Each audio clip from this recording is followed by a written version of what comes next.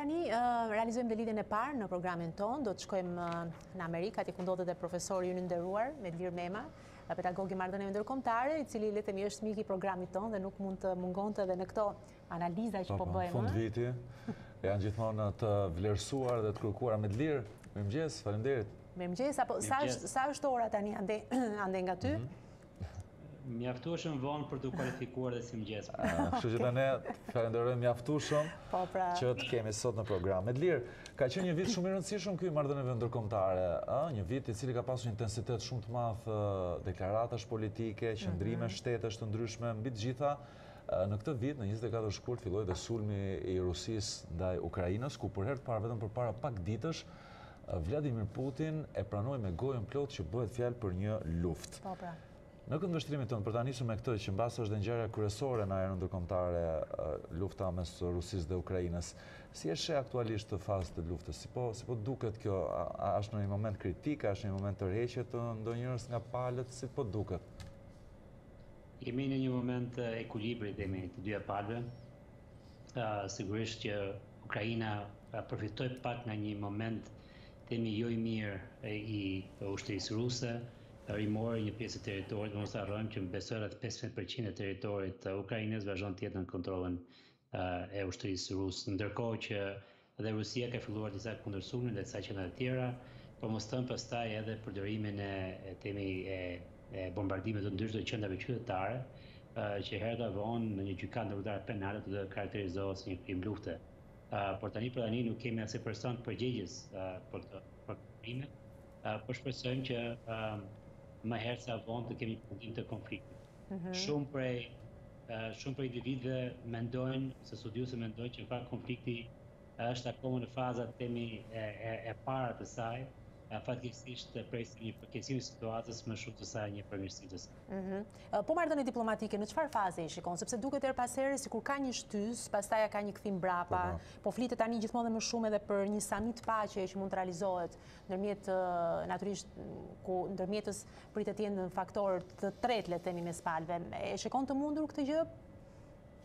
Për momentin jo, sepse nuk, pra, përfundimisht do të kemi një një marrëveshje të të, të negociuar. Pra, mhm. ky konflikt mbaron në atë mënyrë. Uh, por në momentin në këtë moment që flasim, aty ku janë dhe ushtritë, ashtu siç mendojnë edhe udhëheqësit përkatës politikë, Unë nuk e shoh atë të mundur. Sigurisht zoti Zelensky, presidenti i Ukrainës, ka bërë një seri propozimesh interesante. Ministri i tij i Jashtëm propozoi para disa ditësh në fakt dhe përjashtimin e Rusisë nga Këshilli i Sigurimit. Ka një ka një seri arsyesh, të mund të e kemi diskutuar në të kaluarën këtë se si mund të bëhet diçka e tillë. Ndonëse unë personalisht dhe shumë të tjerë mendojnë që është e pamundur në në kushtet aktuale. Po vizita e fundit e Zelenskyt në Shtetet e Bashkuara të Amerikës, për një koment tuajin, është me rëndësi për ne, si t'u duk?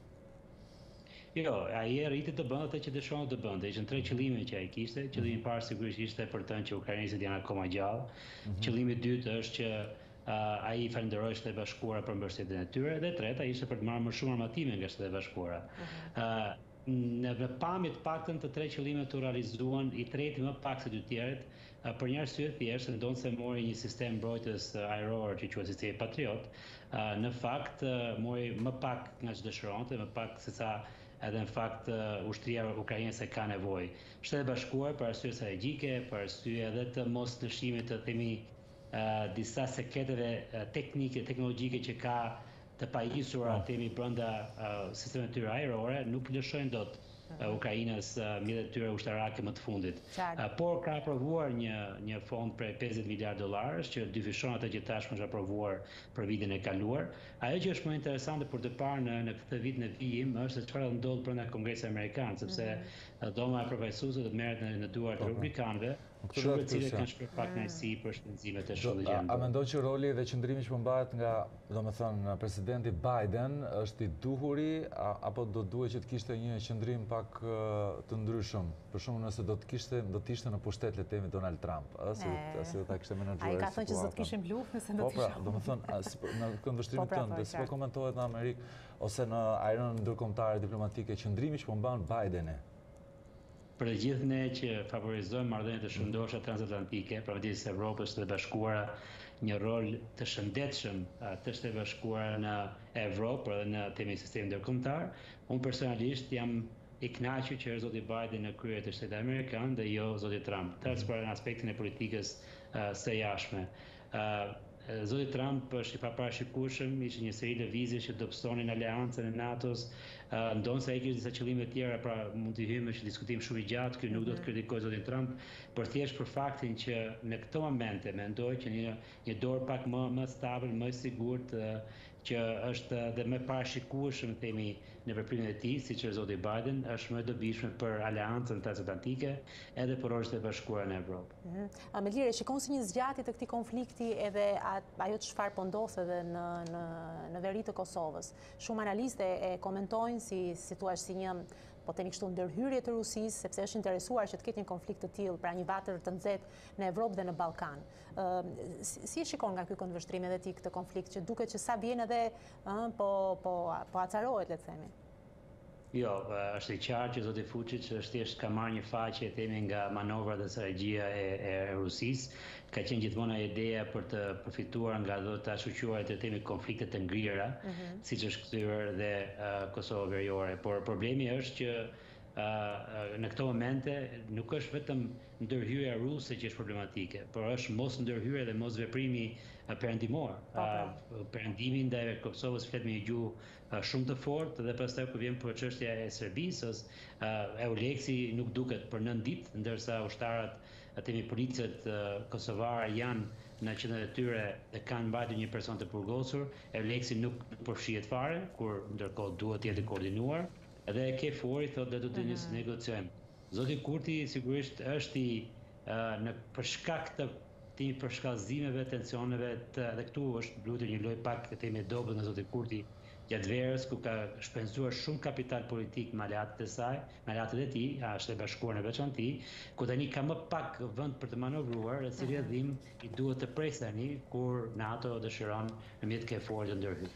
Po, Medlir, ka shumë komente këto ditë e fundit për qëndrimin që po mban Tirana zyrtare. themi Shqipëria, një vend i cili Kosovën e ka mbështetur, edhe do ta mbështesë pa diskutim që në gjenezë. Këto ditë e fundit ose këtë periudhë, si të duket qëndrimi që po mban Tirana zyrtare në raport me situatën shumë të tensionuar delikate në Kosovë? Jo, ju e korrigjuat në fakt shumë mirë atë fjali sa filluat që e ka mbështetur. Unë në fakt në vitet e fundit nuk di se kur Tirana e ka mbështetur Kosovën. Dhe është me të vërtetë problematike ky pra ky qëndrim.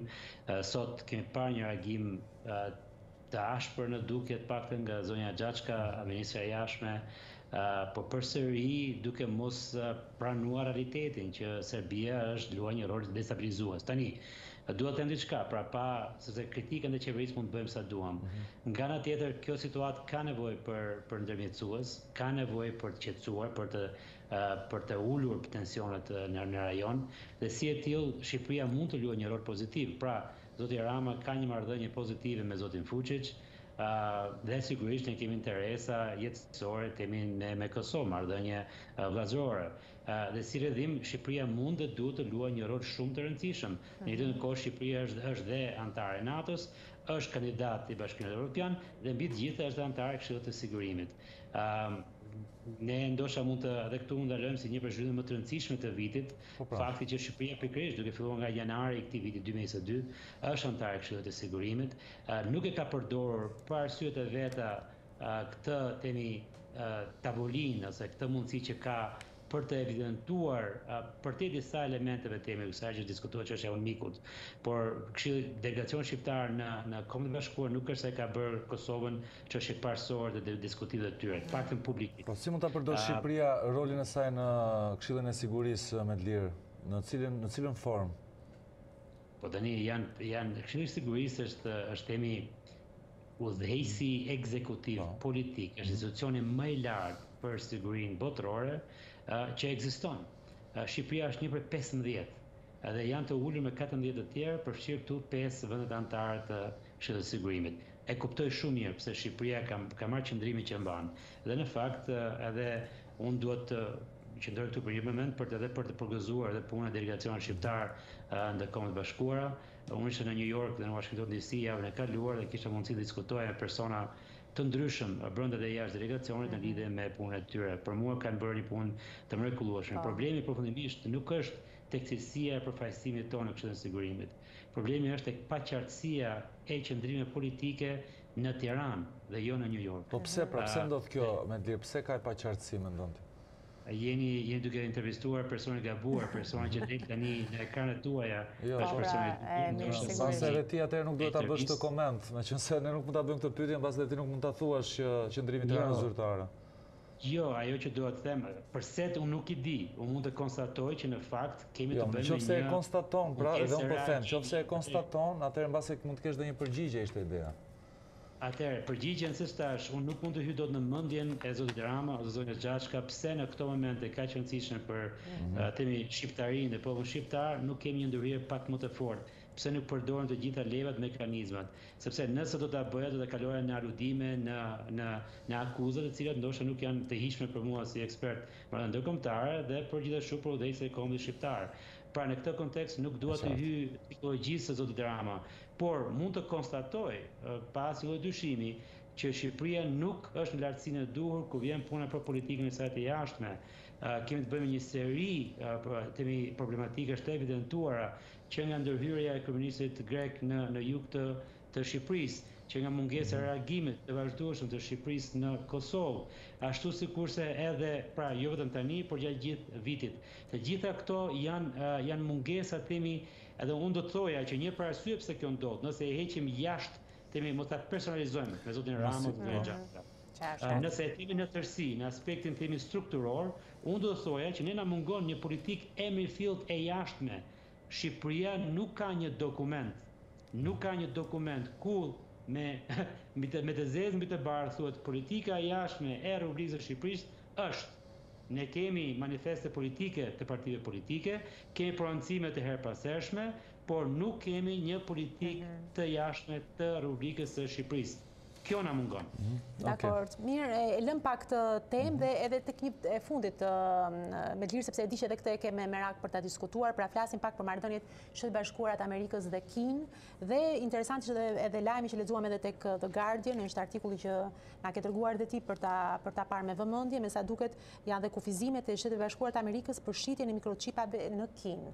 Nga larg kështu duket si një çështje shumë teknike, por që si mund të ndikonte kjo në marrëdhënie sepse nëse flasim për marrëdhëniet Kinë SHBA, kjo nuk shkon shkon shumë përtej këtyre dy shteteve të mëdha natyrisht edhe që do s'do i prek pak a shumë të gjithë uh, globin. Çfarë do të sillte ky ky veprim? Cilat do të ishin pasojat e tij? Patjetër që prek gjithë globin, por e ardhmja, themi, konflikti i ardhshëm më i rrezikshëm që cënon sigurinë ndërkombëtare është nuk është Rusi, Shtetet e Bashkuara, Rusi, NATO, por është Kinë, Shtetet e Bashkuara. Në këtë kontekst, Shtetet e Bashkuara kanë tani dy tre vite të cilat janë duke ndërmarrë një seri veprimesh për të minuar përparimin teknologjik të Kinës. Arsyeja për këtë është sepse këto mikroçipe që sapo ju përmendët janë ato që quhen me përdorim të dyfishtë, domethënë përdoren edhe për teknologjinë civile, por e gjithashtu pra në makina, celularë, kompjuterë, telefonë etj etj, por përdoren gjithashtu edhe në armatime ushtarake. Kina, prodhon vetëm pesëmbëdhjetë për qind të çip mikroçipeve në botë dhe përdor dy të tretat për dy të tretat e tyre pra që prodhohen në botë pra kemi një një një disbalancë midis asaj që Kina përdor dhe asaj që prodhon përderisa Kina nuk e ka teknologjinë e mjaftueshme për të vazhduar dhe për të plotësuar nevojat e saj ë kjo sjell menjëherë një rrudhje të menjëhershme të ekonomisë së brendshme të Kinës duke kaluar në një lloj destabilizimi të mundshëm duhet theksuar këtu që gjysmë pesëdhjetë për qind e prodhimit ndërkombëtar të mikroçipeve janë në Tajvan. Dhe prandaj kjo lojë bëhet interesante këtu, sepse nga një anë Kina kufizohet nga Shtetet e Bashkuara në përdorimin e mikroçipeve të avancuara duke çuar në ngadalësimin e ekonomisë, por pyetja pastaj është se çfarë ndodh meqenëse Tajvani përdor ose më saktë prodhon pesëdhjetë për qind të këtyre mikroçipeve në botë, atëherë çfarë veprimesh do marrë Kina për të themi krijuar një një balancë një balancë midis tyre. Duhet të kujtojmë që në vitet tetëdhjetë Japonia ishte ekonomia e dytë më e madhe në botë. Ishte në në rrugë për të themi edhe për të kaluar Shtetet e Bashkuara. Shtetet e Bashkuara ndërmorën një seri masash dhe Japonia tashmë nuk është më e dyta, është e treta dhe as i ka ndërmend t'i afrohet më fare ekonomisë amerikane, sepse Shtetet e Bashkuara ndërmorën një seri masash paraprake për të parandaluar atë mbikalimin. Jemi duke dëshmuar të njëjtën. Mhm, dakord. Mirë, shohim në fakt çfarë do të sjellë ky konflikt, pra siç thamë të dy vendeve të mëdhaja, që shkon gjithmonë përtej. Kina, për ta mbyllur, mhm. për një koment të fundit, hallin më të madhë tani e ka me viktimat e Covidit. Po, pra dhe atje luftë e madhe në këtë aspekt. Ku duket se ajo mund të shkaktojë edhe një revolucion mhm. vërtet, të paimagjinueshëm, mbase për herë të parë në politikën e saj. Absolutisht, absolutisht është saktë, po këtu është dhe problematike, sepse në momente të tilla, në momente të dobësimi ekonomik edhe të të themi të harmonisë shoqërore, shtetet për të krijuar këtë lloj stabiliteti të brendshëm menjëherë dalin në konflikte të jashtme, pra sajojnë konflikte të jashtme. Dhe këtu kemi një problematikë të madhe, pa mos përmendur pastaj edhe aspektin demografik, ku për shkak të politikës së një fëmije që Kina kishte për një periudhë shumë të gjatë, tani e ka kaluar atë, kemi të bëjmë me një popullsi që është shumicë mashkullore dhe jo femërore. Dhe shumë kanë diskutuar pasojat e kësaj gjëje. Por këto janë ndoshta gjëra që në vazhdimësi mund të diskutojmë me dikë tjetër. Do donim shumë që këtë bisedën tonë ta zhvillonim pak më gjatë, nuk e di nëse do vish këtej për festa apo jo, ke ndonjë plan? Nuk besoj, edhe unë jo, e pra. Sa më bukur t'i kaloni. Edhe ne ta urojmë festën. Unë ndërkohë kam kaluar këtu me dimrin dhe me borën që ka kaluar rreth gjysmë metri, rreth tre çerek metri. Ore, vërtet, a është keq situata aty, si është, o, për ta mbyllur? Jo, situata, ne jemi mësuar me këtë situatë, situata është keq në lindje, ku nuk janë mësuar. Po, se është shpallur dhe gjendja e emergjencës, kishte një situatë shumë. Nuk do të jetë një një dhjetor, një fund dhjetor i qetë, me sa duket as në këtë aspekt për t'u mbajtur mend. Melir të falënderoj edhe një herë tjetër gëzuar festat dhe do shikohemi, do dëgjohemi, natyrisht edhe vitin tjetër, do të kemi kënaqësinë, do të kemi pranë.